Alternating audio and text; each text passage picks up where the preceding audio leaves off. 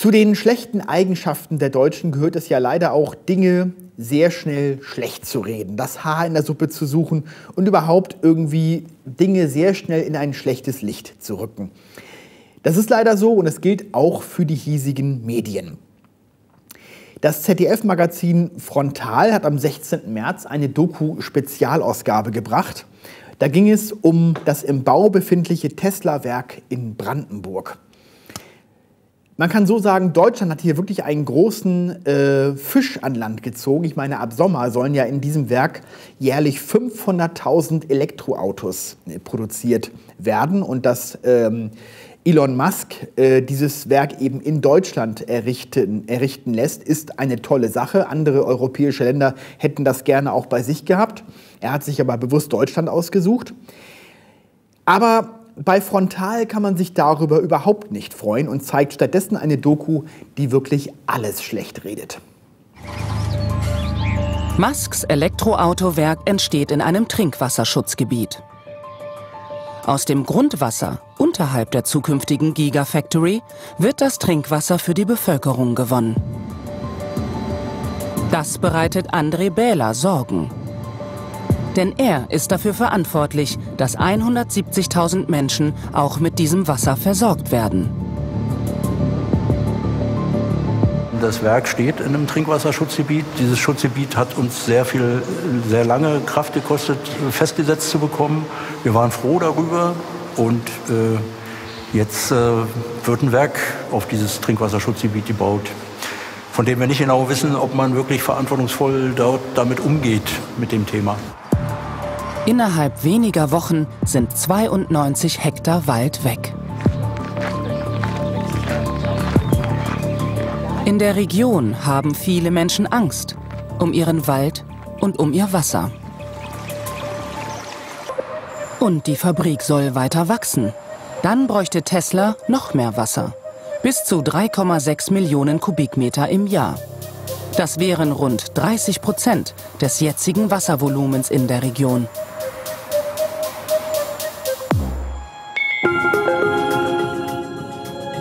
Auf Twitter hatte Elon Musk beschwichtigt. Ich glaube, wir müssen ein paar Sachen klarstellen. Tesla wird nicht jeden Tag so viel Wasser brauchen. Ja, da ist jetzt viel dazu zu sagen. Es gibt viele Kleinigkeiten in der Doku, die nicht ganz sauber sind, aber es ist eben auch generell die Attitüde, die da mitschwingt, also dass wirklich überhaupt nichts Positives irgendwie gesagt wird. Geht schon mal los mit diesem Tweet, den wir da gerade gesehen haben, der ja von der Frontalredaktion auf Deutsch übersetzt wurde. Der war im Original noch ein bisschen länger. Elon Musk hat nämlich noch weiter in dem Tweet erklärt, dass das ja ein theoretischer Spitzenwert sei, der an einzelnen Tagen möglicherweise mal erreicht werde bei dem Wasserverbrauch. Das gilt also nicht für jeden Tag. Und er hat noch weiter erklärt, dass das Waldgebiet, in dem äh, dieses, äh, dieses Werk errichtet wird, äh, sowieso kein natürlicher Wald ist. Dieser Wald ist auch einst künstlich angelegt worden. Das ist nur eine Kleinigkeit, aber das hat man in diesem Bericht zum Beispiel einfach weggelassen, was ja auch vielleicht Gründe hat. Naja, jedenfalls war es so, dass äh, diese Dokumentation auch irgendwann zu Elon Musk selber offenbar äh, gelangt ist. Er hat Informationen darüber bekommen, dass im deutschen Fernsehen so etwas gezeigt wurde. Und er hat dann schließlich getwittert, wow, shame on ZDF Info. Gut, da war er jetzt falsch informiert, denn die Doku lief ja sogar im ZDF-Hauptabendprogramm, nicht auf ZDF Info. Er kennt sich halt im deutschen Fernsehen nicht so aus, das muss man ihm äh, dann auch nachsehen.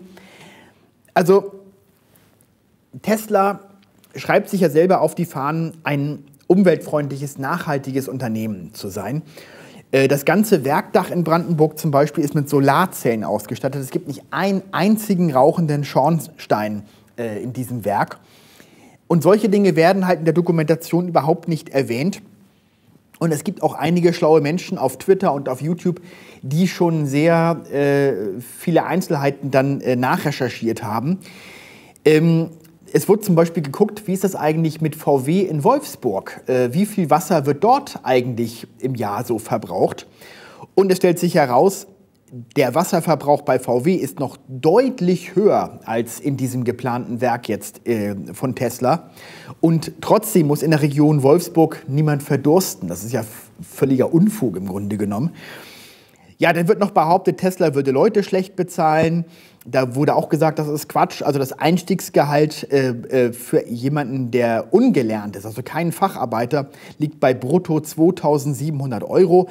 Das ist ja jetzt nicht so schlecht, möchte ich mal so sagen. Ja, und dann werden in der Doku auch noch ehemalige Mitarbeiter von Tesla interviewt. Zum Beispiel ist da eine Frau, die behauptet also, sie hätte auf einen Fehler bei, bei einer Fußmatte in so einem Elektroauto hingewiesen und sie sei kurz darauf dann von Tesla gefeuert worden. Und ähm, deswegen muss man da auch vielleicht ein Fragezeichen dahinter setzen. Es kommt einem eher wie eine Räuberpistole vor. Warum sollte die Frau gefeuert werden, wenn sie auf einen wichtigen Fehler äh, hinweist? Das ist ja überhaupt nicht nachvollziehbar. Und dann gibt es noch ein weiteres Interview mit einem ehemaligen Mitarbeiter, der Sitze in die Autos eingebaut hat und sich dadurch schwere Schulterschäden zuzog. Wissen Sie, wir hatten alle die Hondas und die Camaros und wir liebten es zu basteln. Elon war ein Held für uns. Er machte aus diesen Autos einfach Elektrofahrzeuge. Du benutzt einen Arm, um einen 30-Kilo-Sitz reinzustemmen. Dann drehst du ihn, gehst runter. Wenn du das ein, zwei Mal am Tag machst, ist das nicht schlimm. Aber du machst das 100, 200 Mal am Tag. Und dann reden wir bei mir von Bänder und Knorpelrissen und sowas. Vier Operationen habe er wegen der Verletzungen hinter sich. Er zeigt uns die Narben. Sie mussten meine zerrissene Rotatorenmanschette abschneiden, also die Bänder. Sie mussten alle kaputten Sehnen abschneiden und dann wieder strecken und in meine Schulter bohren und den Muskel wieder draufsetzen. So, die Geschichte mag vielleicht sogar stimmen, das will ich gar nicht bestreiten, aber es handelt sich ja offenbar um Arbeitsbedingungen aus einer Zeit, als Tesla noch ein relativ kleines Unternehmen war. Die gibt es ja nicht erst seit gestern. Denn es ist seit Jahren schon so, und das kann man auch in äh, äh Dokumentationen sehen, die äh, in Fabriken von Tesla gedreht wurden, dass die Sitze äh, der Autos längst von Roboterarmen eingesetzt werden. Das machen schon seit Jahren gar keine Menschen mehr. Und natürlich wird das auch so in diesem Brandenburger Werk sein. Die Frontalreportage tut aber jetzt so, zumindest suggeriert sie das, als wenn auch in Brandenburg solche schlechten Arbeitsbedingungen dann herrschen werden. Und naja, ich sag mal, das ist ein Punkt, den ich dann auch regelrecht unfair finde, weil hier werden also Dinge suggeriert, die mit der Realität gar nichts zu tun haben.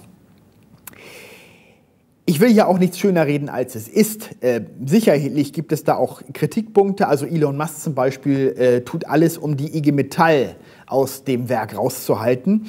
Liegt halt daran, es ist ein amerikanischer Konzern und da gibt es halt andere, äh, ähm, äh, anderes Bild von Gewerkschaften, als es hier in Deutschland der Fall ist. Ähm, da wird es mit Sicherheit aber irgendeine Lösung geben müssen, weil natürlich muss er sich auch an deutsche Gesetze halten. Und da hat natürlich die IG Metall als Gewerkschaft auch ähm, schon von Gesetzes wegen her das Recht, auch da äh, äh Einfluss zu nehmen. Aber wie gesagt, hier wird ein großes Stück äh, Zukunftstechnologie mitten in Deutschland gebaut. Ich meine, er hätte ja auch genauso gut in die Ukraine oder nach irgendwo nach Bulgarien oder sonst wo gehen können mit seinem Werk. Er ist aber bewusst nach Deutschland gekommen. Und ich muss sagen, ich finde es einfach merkwürdig zu versuchen, das alles irgendwie so schlecht zu reden. Also noch nicht mal den Versuch zu unternehmen, es einigermaßen ausgewogen äh, zu gestalten. Naja, aber dann wäre es wahrscheinlich nicht so äh, quotenmäßig interessant und dann wäre es quasi nicht so pseudo-skandalös, wenn man es jetzt äh, seriöser gemacht hätte. Aber wir reden hier von einem öffentlich-rechtlichen Sender, das darf man ja auch nicht vergessen. Ne?